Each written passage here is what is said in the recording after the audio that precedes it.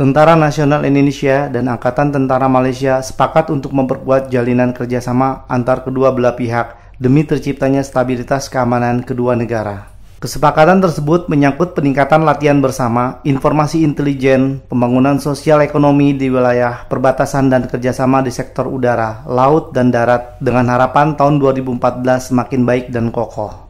Kesempatan itu terwujud dalam sidang ke-11 High Level Komite Malaysia Indonesia yang berlangsung di Kuala Lumpur, Malaysia, Rabu 27 November 2013. Dalam sidang yang dipimpin langsung Panglima TNI Jenderal TNI Muldoko dan Panglima ATM Jenderal Zulkifli bin Muhammad Zin, tersebut dibahas hal-hal yang berkaitan dengan masalah perbatasan Indonesia dan Malaysia, baik di darat, laut maupun di udara, agar stabil dan keamanan tetap terjaga. Usaha bersama untuk menjaga keamanan yang dilakukan oleh TNI dan ATM telah mendapatkan pengakuan internasional, terutama di Selat Malaka. Dalam sidang ke-11 HLC Malindo tersebut juga disepakati mengenai peningkatan ekonomi penduduk yang tinggal di sepanjang perbatasan dengan cara melakukan aktivitas yang dianjurkan oleh Badan Sosial Ekonomi kedua negara. Panglima TNI Jenderal TNI Muldoko menjelaskan dalam HLC ini telah dibahas kemajuan di bidang intelijen, operasi, dan pelatihan sosial ekonomi, kepolisian, dan maritim. Melalui perencanaan yang telah disepakati bersama dan kedua belah pihak maka mengambil langkah-langkah ke depan.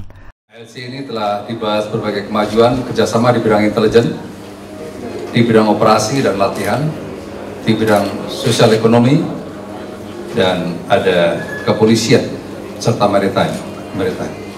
Semuanya telah melalui uh, perencanaan yang telah disepakati bersama dan kita akan mengambil langkah-langkah ke depan.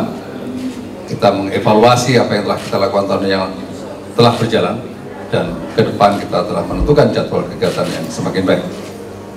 Untuk itu saya juga sangat menaruh rasa hormat dan terima kasih kepada Jenderal Tan Sri.